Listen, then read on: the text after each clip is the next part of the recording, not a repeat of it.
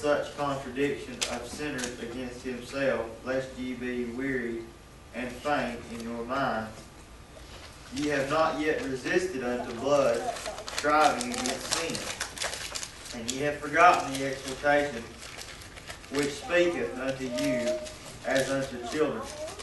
My son, despise not thou the chastening of the Lord, nor faint when thou art rebuked. For whom the Lord loveth, he chasteneth, and scourgeth every son whom he receiveth. If ye endure chastening, God dealeth with you as with sons.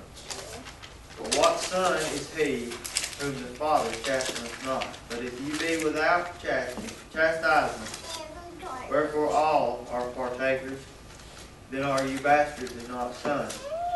Furthermore, we have had fathers of our flesh which corrupted, corrected us, and we have gave them reverence. Shall we not much rather be in subjection unto the Father of spirits and live? And then back over in the book of Zechariah.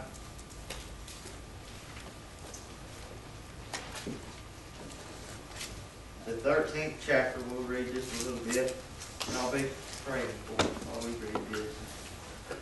Says, In that day there shall be a fountain opened to the house of David, and to the inhabitants of Jerusalem for sin and for uncleanness. And it shall come to pass in that day, saith the Lord of hosts, that I will cut off the names of the idols out of the land, and they shall no more be remembered.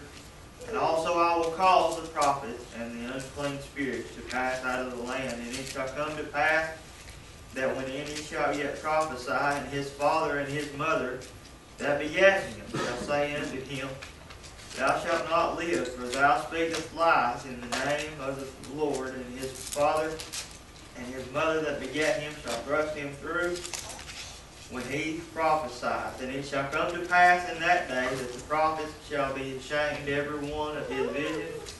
When he hath prophesied, neither shall they wear a rough garment to deceive. He shall say, I am no prophet, I am an husbandman, for man taught me to keep cattle from my youth. We'll read the rest of the chapter. It says, And one shall say unto him, What are these wounds in thine hands? Then he shall answer, These, those with which I was wounded in the house of my friends. Awake, O sword, against my shepherd, and against the man that is my fellow, saith the Lord of hosts. Smite the shepherd, and the sheep shall be scattered, and I will turn mine hand upon the little ones. And it shall come to pass that in all the land, saith the Lord, two parts therein shall be cut off and die, but the third shall be left therein. And I will bring the third part through the fire, and will refine them as silver is refined, and will try them as gold is tried. They shall call on my name, and I will hear them. I will say, It is my people, and they shall say, The Lord is my God. Now, like we need to read this morning.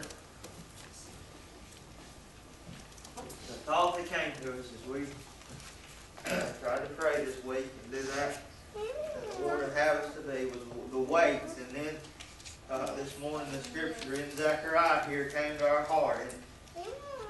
And We'll just try to let the Lord lead us this morning. I surely can't do this thing on my own. I have that couple weakness this morning, and that is just like I said in Sunday school, submit myself unto Him. It's it's an enemy of mine. And, uh, just giving Him a minute and build, building these things up in my mind and making His way a lot harder than He it to be. Y'all just bear with us for just a minute. We may not do nothing but talk on this, but I desire this morning uh, to preach to you the word. I surely do. I failed him miserably to be that of the messenger that he needs me to be. But nevertheless, I'm thankful that he reaches down his hand sometimes and he just lets us see these things and lets us go on and, and forgives us of those sins.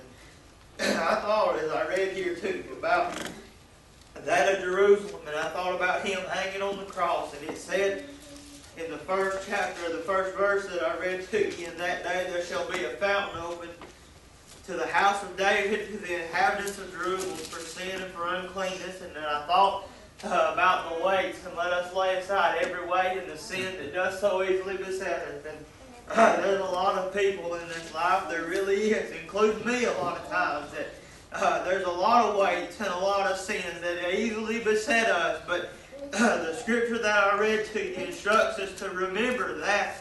Uh, him hanging on the cross and remember that that he died for uh, that we might not be cumbered about, that we might not be burdened in our minds, that we uh, might be able to just go on in the way that have us to this morning. And uh, I'll tell you today that a lot of people are still looking for that. As Brother Mike said in Sunday school, they're there uh, just a while ago. They're looking for another way uh, for the Lord, uh, for somebody to help them. They surely are. But uh, here it says, "In that day there shall be a fountain open to the house." Of David and to the inhabitants of Jerusalem for sin and for uncleanness. And I want you to know this morning that there's a way uh, for us to be clean. There surely is. And it's only going to come through that uh, the blood of Jesus. It really is. They uh, prophesied about this day all through the book of Zechariah and all through uh, the books of the Bible. They knew that there was a man coming that would take away uh, that of the sins of the world. And I thought about that of the church, and that when he died, Brother Mike, that uh, he came not to, to do away with the law, but he came to fulfill it today. That uh, it might be made perfect, that it might be made something uh, that it never had been before, that it could be uh, made a way that we could have remission of sins, that we uh, would no longer have to offer those sacrifices anymore, but uh, that we would, that our bodies would be a living sacrifice, uh, and we'd have to present ourselves holy and acceptable unto Him, and present our bodies that of a living sacrifice this morning. And uh, listen, I'll tell you, my friend, that uh, there's another day coming when He comes back to get those that He's called aside the ones uh, that have endured to the end, the ones uh, that shall be saved. You say, well, I thought we didn't believe that way. Listen, I don't believe that uh, he's going to come back and set up that of another kingdom and that he's going to do uh, something like that again, my friend. But listen, there'll be a day uh, that's coming that we can just lay it down, Brother Mike, uh, that we don't have to worry with those things no more. But listen, what I want to think about this morning, and hey, Lord, being our helper is about that. Uh, this day that we live in and the ways of this world. Listen, uh, my friend, that fountain is open unto us. Uh, my friend, those that are the house of David today. Listen, the one, uh, listen, my friend, the line of the tribe of Judah has prevailed. It surely has. Uh, my friend, and will overcome, uh, my friend, by the blood of the Lamb and by the word of our testimony today. Uh, it'll be the only way that we're able uh, to go on in this life. But listen, it'll only come uh, through that of putting aside the weight and the sin that does so easily beset us. Uh, we go through this thing, we surely do. Y'all bear with us uh, for just a minute. We go through life and we say, well, uh, it's just a little weight. It ain't no big deal, the things uh, that we have in our way a lot of times. But my friend, listen, uh, if we do not submit ourselves unto God, uh, if we don't lay aside these things and just get to the place this morning that we just want to cry out to the Lord, my friend, and cry out to Him that He might be able to help us this morning, then there'll be no help found for us. Uh, my friend, you say, well, uh, listen, we're His people. He's there uh, for us to call upon this morning. Uh, he surely is, brethren. But listen, uh, we're going to have to cry to Him this morning uh, that we might be able to receive the help that we need. We surely are. my friend, if we don't cry and we lay there in that mud and in that mire and just wallowing there in our pity and in our shame this morning, listen, we're not going to find that help, Brother Mike. we've got to open that door and go uh, to Him today. Uh, he's ready to help us this morning. Uh, he surely is. He's ready uh, to come to us and to heal us, uh, my friend, because there's a wound in this man. There really is. In uh, this man that you see standing before you, uh, there's a lot of things, and they ain't none of them much good. The only good thing about me is what the Lord has put on the inside of me. Uh, there's no compassion. There's no mercy. there's nothing today. But listen, when the Word of God comes to us, uh, my friend, whenever we realize that we can have, uh, my friend, eternal life and realize that we uh, can put our, uh, we can be uh, in the place that the Lord can deal with us this morning, uh, then we'll get to the place where we can receive the help. I've been uh, to a lot of places and you just see people struggling uh, and you just wonder why that they can't get no help. Uh, they won't realize today uh, what the Lord can truly do. The Bible said uh, over there in the first, uh, uh, the first few chapters of Zechariah, listen about wherever he was going to destroy uh, that of Jerusalem there, that the people, uh, my friend, had pulled their shoulder away, uh, they turned their head, they hardened their hearts tonight. Uh, my friend, listen, if we turn our head away uh, and we quit pushing and quit trying uh, for that of the Lord, listen, there's no good end uh, going to come of it this morning, but we're going to have uh, to try to do what the Lord would have us to do. We surely are this morning. It, it ain't going to come through the ways and that of this world. World, it's surely not. Listen, a lot of prophesying has been done down through the years today. Uh, listen, and it came true whenever uh, He came and died for us today and uh, did away with the old way and uh, fulfilled, uh, excuse me, that of the way that He had laid before us, uh, that we might have something more precious, uh, that we might have something holy and acceptable uh, in His life, uh, uh, my in this life, that we might be able uh, to have access to Him, that we might be able, uh, my friend, to pull together and work uh, for Him. Listen, we're taught a lot of things in this life. Uh, we go through a lot of things that we might be able uh, to educate ourselves. But listen, uh, the learning of this world is not what it's going to take uh, to get us closer to the Lord. You say, well, what do you mean by that? I mean, my friend, that there's nothing wrong with an education in this life. But listen, if we don't put the Lord first and don't go on about His business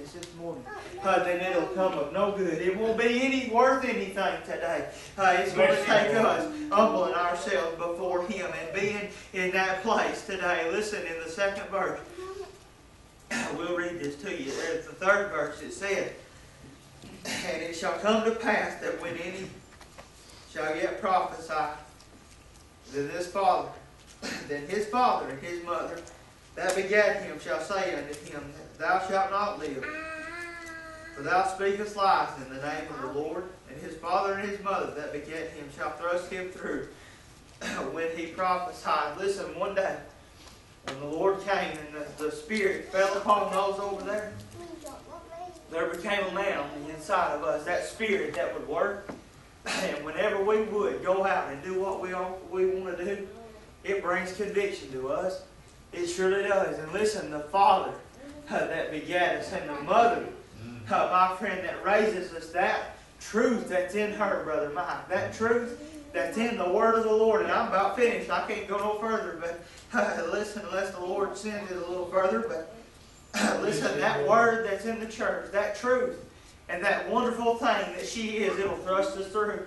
Uh, my friend, it surely will. It'll come to our house. And it'll show us that we're wrong. It really will. And listen, Paul, uh, uh, the writer over there in Hebrew that I read to you, he said, without chastisement, uh, we're bastards and not sons. Listen, uh, my friend, but listen, we have received uh, the chastisement of God, that thrusting through of the Word and that pricking of our heart today. Uh, listen, that getting a hold of us and showing us our rights and our wrongs today. Listen, that, uh, my friend, is a good thing. That chastisement is wonderful. Uh, my friend, and it said in that uh, book in Hebrews, it said, uh, don't faint because of the chastisement of God. Uh, listen, don't be weary because of it, because, uh, listen, if we're corrected not, uh, then we'll go our own way this morning. We surely will. Uh, we'll go any way we want to. But listen, I'm thankful uh, that the Lord is able. He is there. If we'll put our faith and our trust in Him and just cry out uh, to our Father today that it'll be there. It'll be a guide. It'll be a stay. Uh, we'll be able to go uh, on the Lord's way. And whenever we would turn, that'll be there. Uh, to correct us, it'll be there uh, to turn us back to the Lord. Because if we just go the way we want to go, uh, we'll be no good to ourselves. We'll be no good to the Lord. If we quit and pull our shoulder away uh, from that good thing that the Lord would have for us this morning, I tell you, it won't be pleasant and we won't be able Blessing. to receive that help today. Listen, uh, we've got to cry out to the Lord. He desires to hear that of the voice of his children. He surely does because he loves us. He sent his son to die upon the cross that we might have life, that we might have life and have it more abundantly. And we might be able to live a life filled with the Spirit and filled with the joys of our Lord and Savior today. But it's going to take some effort. It'll take uh, pressing on in this way this morning. Uh, Brother Mike, I'm finished. I know it's been short, but that's as far as we feel like we need to go. And we'll turn it back over to you and let you go the way uh, that you see fit this morning.